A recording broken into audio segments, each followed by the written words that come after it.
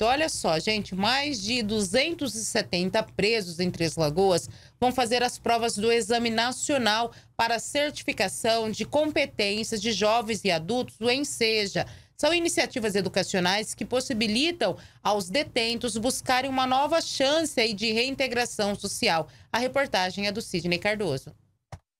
Em Mato Grosso do Sul, a educação nas penitenciárias oferece aos detentos uma oportunidade essencial de reintegração social.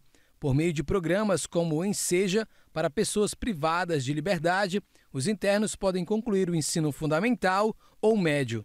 Em 2024, 144 detentos da Penitenciária de Segurança Média de Três Lagoas farão as provas do Enseja, que serão realizadas nos dias 29 e 30 de outubro. Bruno Henrique Rocha, de 31 anos, está preso há um ano e quatro meses. Além de trabalhar no presídio, está se preparando para o exame. Graças à direção, né, que o diretor, o pessoal que junto com ele consegue trazer essas empresas para cá, você consegue duas coisas. Consegue tirar um pouco o foco do presídio, né, que você está num lugar que não é, não é bom ficar todos os dias, você acaba trabalhando e né, remindo a sua pena e esquecendo um pouco o lugar que não é muito bom de estar, né, de se encontrar. A gente já vem preparando, vem buscando os livros na biblioteca, vai se atualizando para sair daqui preparado. E a expectativa é grande, né? Passar no Enseja, terminar os estudos e fazer o Enem, que é no final do ano também agora. Para André Luiz Quintana, de 32 anos, preso há um ano e oito meses, o exame representa a chance de criar novas oportunidades e recomeçar a sua vida. Aí eu tive o interesse de voltar a estudar, né, para a gente adquirir conhecimento e tal, e sair lá fora mais assim, com a mente mais ampliada, né. A gente adquire, né, como eu falei, a gente adquire conhecimento e tal, aprende as coisas, né, que lá na rua são meio difíceis e tal.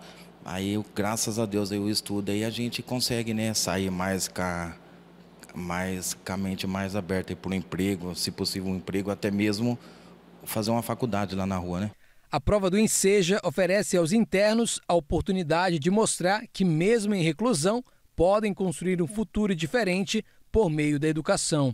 Ao todo, em Três Lagoas, 273 presos das três unidades prisionais, masculino, semiaberto e feminino, vão participar do exame. O professor Seiji Kikuchi dá aulas no ensino médio e para os reeducandos na penitenciária de segurança média. Ele completará um ano de ensino na unidade prisional e considera importante esse tipo de iniciativa no setor educacional. Eu acredito que o principal propósito da, da, da educação né, prisional é a ressocialização. Porque quando você é, consegue inseri-los novamente né, no mercado de trabalho.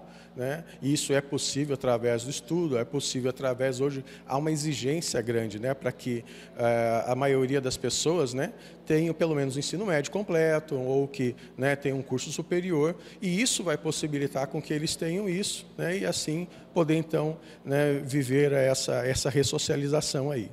Atualmente, na penitenciária de segurança média masculina de Três Lagoas, há cerca de 75 alunos matriculados desde a alfabetização até o ensino médio, além de um curso de teologia e de toda a estrutura que prepara os reeducandos para o Enseja e para o Enem. O diretor da Penitenciária de Segurança Média de Três Lagoas, Walter Luiz de Medeiros, destaca a importância das ações feitas pela unidade que possibilitam promover educação aos internos. Esse ano de 2024, para nós, como policiais penais, foi muito gratificante, porque a gente conseguiu aumentar o total de internos trabalhando e remindo pena. E estudando também. Hoje a gente tem 56,8% de internos trabalhando, remindo pena. Desse total, 33% trabalha remunerado. O restante sem remuneração, mas tem a remissão. É, a gente sente assim, é que o interno sai daqui com condições de, na rua, é a verdadeira ressocialização. Ele tem uma oportunidade muito grande de chegar na rua, quando ele sair em liberdade e, e arrumar um emprego, continuar os estudos, fazer uma faculdade. A penitenciária de segurança média de Três Lagoas possui 785 presos como forma de benefício para os que estudam na unidade prisional, a cada 12 horas é um dia de remissão da pena. A leitura de livros também pode reduzir a pena de um preso no Brasil. A lei de execução penal prevê que a cada livro lido corresponde a uma redução de quatro dias na pena. O máximo são 12 livros por ano, o que permite uma redução máxima de 48 dias da pena. Na penitenciária de Três Lagoas, os reeducandos contam com um acervo de 600 livros em uma biblioteca, além de seis salas de aulas.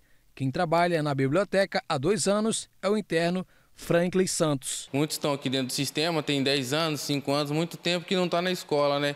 Aí aqui a biblioteca proporciona para a pessoa estudar, para a pessoa meditar, tem vários temas.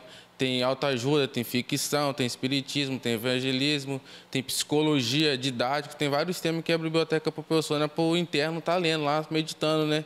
E tem também o, o alcance EJA e livro didático para a pessoa estar tá dando uma, uma aprendendo, né? Atualizar nas provas, porque muitas das vezes no, lá em cima não tem livro, a biblioteca proporciona esse livro para os alunos e para os internos estar tá estudando. O acesso à educação contribui para a redução da reincidência criminal e oferece um caminho mais digno de volta à sociedade.